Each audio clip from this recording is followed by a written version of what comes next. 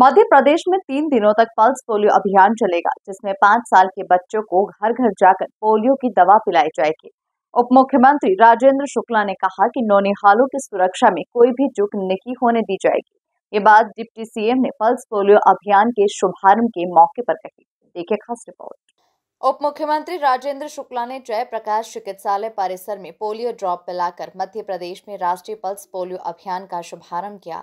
उप मुख्यमंत्री शुक्ला ने कहा कि हमारा मध्य प्रदेश वर्ष 2008 से आज तक पोलियो मुक्त बना हुआ है।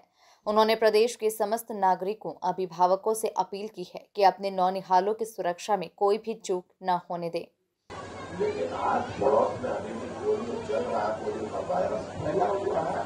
तो केवल के तौर पर हमने ये अभियान चलाया है तेईस जून से पच्चीस जून तक घर घर जाता है। आज के ट्रांसिट में जो है उसको भी खिलाएँगे और लगभग पचपन हज़ार बनाए गए हैं पूरे प्रदेश में पचपन हज़ार बूथों के माध्यम से नवजात से लेकर पाँच वर्ष तक की आयु के जो शिशु है उनको ये दो बूंद जीवन की दो बूंद ज़िंदगी की जाए तब पोलियो वैक्सीन खिलाई जाए ताकि वो पोलियो हमारे यहाँ पर पेनेट्रेट ना कर सके आ ना सके सावधानी के रूप में ये अभियान प्रारंभ हुआ है पच्चीस जून से बहुत अच्छा कार्यक्रम प्रारंभ हो रहा है दस्तक नाम के उस अभियान के तहत भी हमारा जो स्वास्थ्य का मैदानी अपना जो आशा कार्यकर्ता है आंगनबाड़ी कार्यकर्ता है एएनएम है वो भी घर घर जाके नवजात से लेकर पाँच वर्ष तक के जो शिशु है उनके स्वास्थ्य की जानकारी लेंगे उनके पोषण आहार की जानकारी लेंगे एनीमिया इत्यादि है उनकी जानकारी लेंगे तो निश्चित रूप से स्वास्थ्य विभाग डिप्टी सीएम राजेंद्र शुक्ला और स्वास्थ्य राज्य मंत्री नरेंद्र शिवाजी पटेल, विधायक भगवान दास सबनानी ने नोनिहालों को पोलियो ड्रॉप पिलाकर अभियान का आगाज़ किया। डिप्टी सीएम ने कहा कि 25 जून तक चलने वाले इस अभियान में पचपन हज़ार बूथ बनाए जा रहे हैं। एक करोड़ सैतालीस लाख ड्रॉप की व्यवस्था की गई है।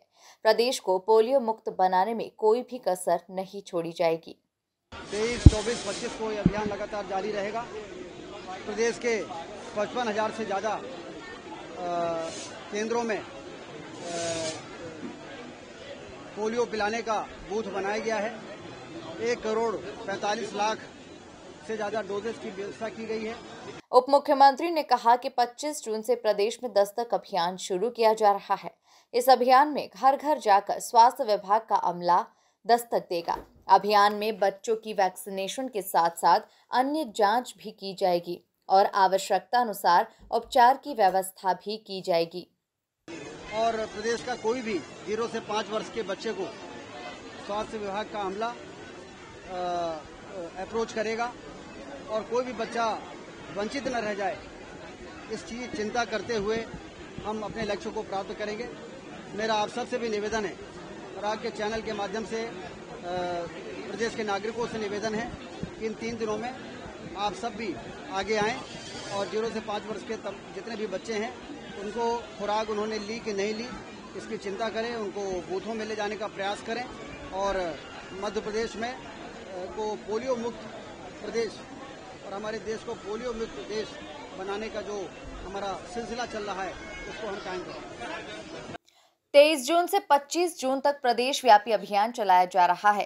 प्रदेश में पाँच साल तक के लगभग एक करोड़ ग्यारह लाख बच्चों को लक्षित किया गया है। Bureau report, MP news, Bhopal.